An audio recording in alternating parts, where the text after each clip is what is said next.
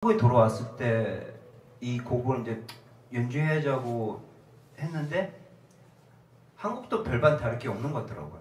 우리가 산 속에서 우리가 같은 민족이지만은 타기도 한국인이잖아요, 맞죠? 한국이잖아요. 근데 생각 다 다르고 그리고 어, 이해가 안 되는 데서 갈등 느끼고 그리고 거기에서 혼자 마음 상하고 나 나밖에 없을 거야 이런 생각하는 사람, 나밖에 없을 거야 이런 상황 이렇게 생각하잖아요.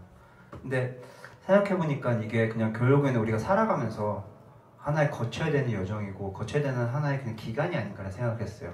외로움이라는 게 결코 이상 내가 이상해서 있는 게 아니라 고독하다는 게 내가 뭔가 무슨 삐꼬라서 지금 이렇게 그렇게 생각하고 있는 게 아니라 우리가 살면서 당연히 거쳐야 되는 상황들이고 그 상황들이 우리한테 그만큼 뼈저리게 느낄 때 우리가 사랑하는 사람 만나면 그만큼 그 사람을 배려해 줄 수 있는 그런 마음이 나오지 않나라는 생각을 해보게 됐습니다. 그래서 어떻게 보면 외로움이라는 게 어떻게 우리가 정말 사랑을 알아볼 때, 사랑을 알아볼 때 가장 필요한 요소가 아닌가라는 생각을 해보면서 네, 이 곡을 그렇게 풀어서 해석하고 있어요.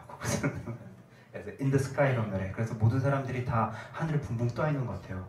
음, 삶 속에서. 근데 그것이 절대 이상한 것이 아니고 우리가 소울메이트 찾을 때까지 어떻게 보면 계속 이렇게 붕붕 뜨다가 그리고 소울메이트 만나면 아 하고 땅에 떨어지는 네.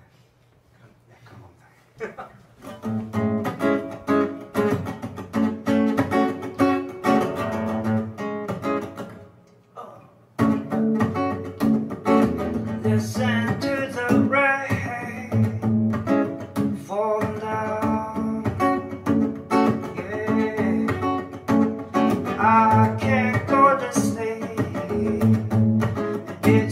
Love.